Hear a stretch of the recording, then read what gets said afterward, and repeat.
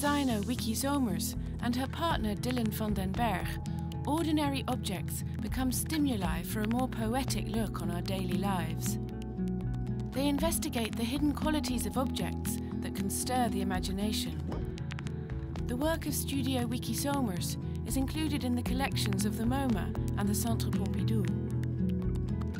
Eigenlijk is uh, ons hele werk één grote zoektocht, één groot proces. We kijken altijd wat de dingen om ons heen zijn, uh, wat ze kunnen zijn, wat voor associaties mensen daarmee hebben. We onderzoeken uh, gebruiken, situaties, alledaagse situaties. En geven daar een hele eigen fantasie aan. En eigenlijk maken we uiteindelijk het gewone ongewoon.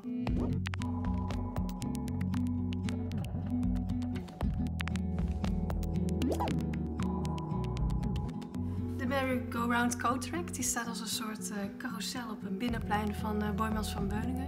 Aan de touwen hangen kledinghangers waaraan mensen hun jas kunnen ophangen. Door de interactie van het publiek verandert hij continu van gedaante, van vorm, van transparantie.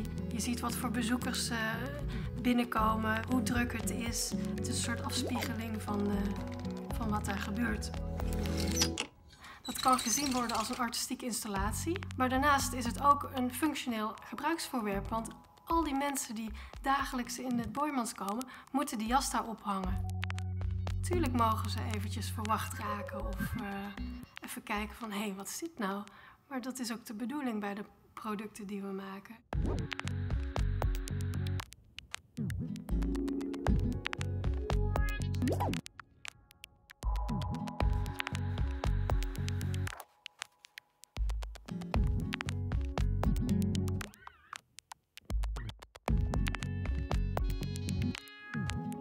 Ik denk dat wij als, als ontwerpers helemaal niet uh, bezig zijn met een stilistisch idioom. Maar als je naar alle producten kijkt, denk ik wel dat je uiteindelijk wel een soort van uh, uh, handschrift erin ziet. Namelijk de kritische manier van benaderen, van thema's benaderen. Maar ook de, de verfijnde manier en de experimentele manier van vormgeven. One of the studio's current projects is Frozen in Time. It's a series of products inspired by photographs of an ice storm in the northeastern Netherlands on March the 2nd, 1987. For one day, the whole landscape was covered in a thick layer of ice. A giant still life in which everything became connected and time seemed to have come to a halt.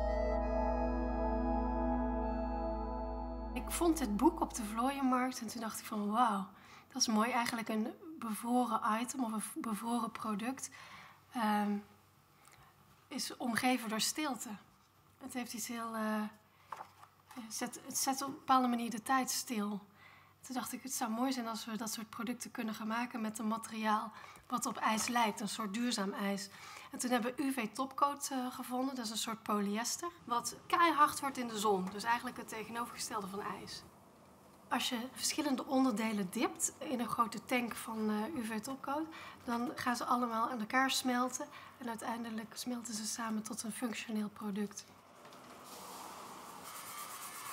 De producten zijn heel arbeidsintensief en het is ook bijna beeldhouwer. Dus elk blaadje, elk, elk oor van een vaas moet op precies de goede manier zitten.